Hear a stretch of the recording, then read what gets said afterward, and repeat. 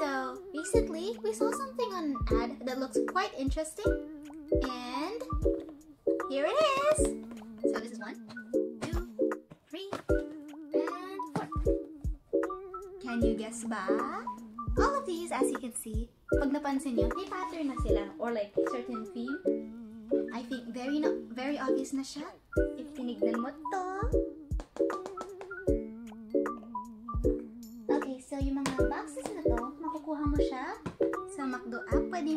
I-claim dito.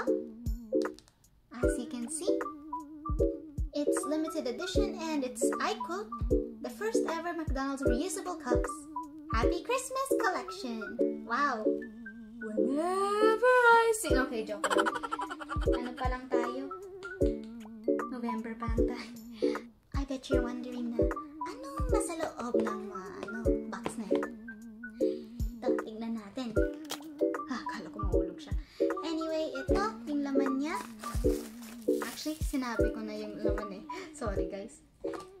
So, ito nga yung mga reusable cups.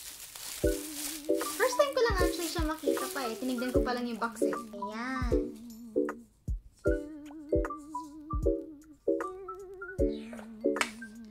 Okay, so for comparison, ito yung original cup or like one of the cup sizes. Pareho yung ano, para silang may pang. Ito yung, ito hindi siya masyadong prominent but it's still same thing. Actually, ako nga, painom.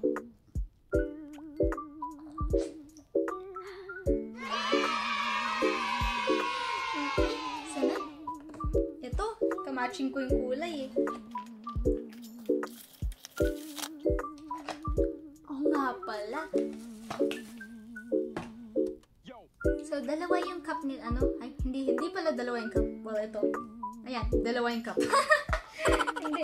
Dalawa yung tagap nila, so just in case, if like, you know, minsan nakakalimutan mo, ala, nasan na yung isang ano? Ito, dalawa na sila. Pwede yun, no? Just in case na makalimutan ka minsan. And also, if maybe tinatamad ka maghugas. Pero syempre, hugasan mo pa din yung baso, ba?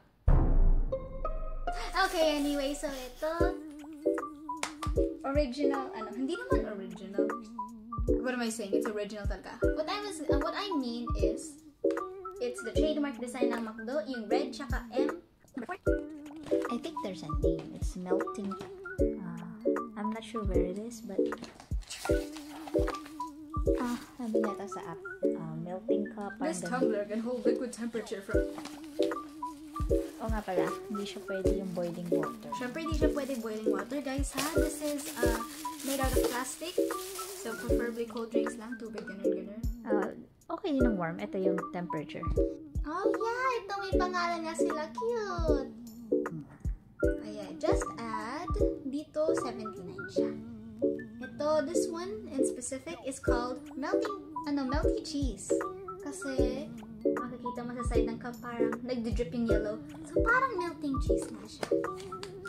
This one is called the dip fries cup.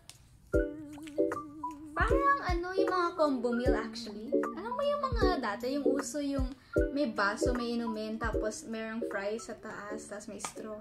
Parang ganun siya. I don't know, it reminds me of that kasi dito, same pattern siya nung ano, melty cheese, tapos parang may burger na pattern. Tapos dito sa baba may fries na may ketchup. O, diba? Grabe. Cute. Wow. Golden Arcs Cup. Wow, syempre. Hindi ko, ano eh, nalito ako sa pag, ano, pagbasa.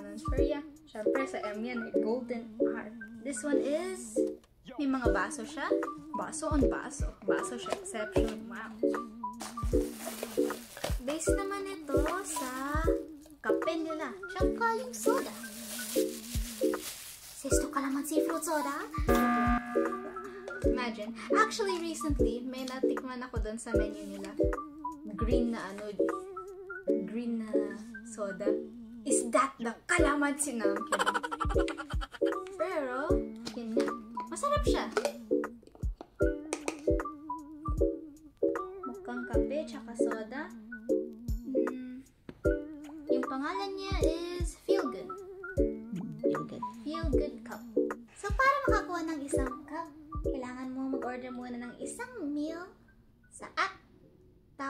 Tapos, click mo claim and add 79. Okay. So, yan po yung showcase natin for today. So, ano sa mga mahilig mag-collecta dyan? Kuha na kayo. My personal favorite, I would say either ito or ito. Kasi ito madami siyang design and of course, mahilig ako sa inumin eh. Ito, madami na akong inumin. Inom ako lahat dito. na, I'm kidding. Pero yeah, thank you for everybody who watched today. Get your own. Like I said, limited edition lang siya. And it'll probably go soon. Kahit one design lang oh. Masarap siya kunin. But it's not sponsored by McDonald's, ah. Not sponsored by McDonald's. Sponsor me! Joke lang. Unless... Joke lang. Ay, actually, hindi pala. Mali pala. Gusto niyo siguro. Biro lang. Okay,